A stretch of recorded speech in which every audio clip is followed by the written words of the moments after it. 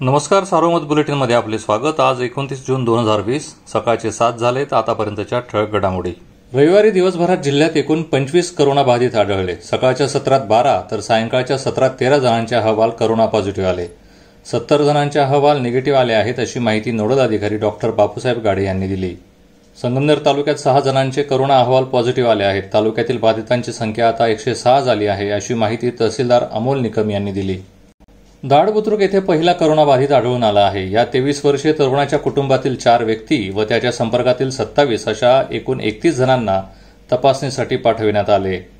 कोल्हार येथील एक व्यावसायिक करोना पॉझिटिव्ह आल्यानंतर त्याच्या कुटुंबातील सहा जणांच्या अहवाल निगेटिव्ह आले आहेत. मात्र मुलाचा अहवाल पॉझिटिव्ह आल्याने कोलारमध्ये बाधितांची संख्या दोन झाली आहे.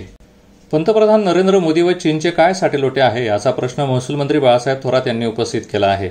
सीमेच्या सुरक्षेवरून जबाबदार विरोधी पक्ष म्हणून काँग्रेस केंद्र सरकारला प्रश्न विचारणारच अशी भूमिका त्यांनी मांडली. प्रवरा नदीपात्रातून वाळू उपसा करून बेकायदेशीर वाहतूक करणारे वाहन निळवंडे कालव्यात उलटले. या घटनेत वाहनाखाली दबून तिघेजण जागीच ठार झाले. एक जण गंभीर जखमी आहे. संगमनेर तालुक्यातील हिवरगाव पावसा शिवारातील खंडोबा मंदिरानजीक रविवारी पहाटे ही घटना घडली. कोपरगाव तालुक्यातील कोकमठाण रेलवाडी येथील ज्ञानेश्वर तुकाराम खोतकर व सविता खोतकर या दाम्पत्याने किरकोळ वादातून विहिरीत उडी मारून जीवनयात्रा संपवली. त्यांना वाचविण्यास गेलेली बहीणही तोल जाऊन विहिरीत पडली मात्र तिला वाचविण्यात ग्रामस्थांना यश आले. घरात घुसून अल्पवयीन मुलाचा छळ केल्याप्रकरणी नगर महापालिकेचे आरोग्य अधिकारी डॉक्टर अनिल बोरगे अग्निशमन दलाचे प्रमुख शंकर मिसाळ कर्मचारी घाट विसावे व मुलाच्या विरोधात गुन्हा दाखल झाला आहे. दरम्यान तोफखाना पोलीस पुढील तपास करत आहेत.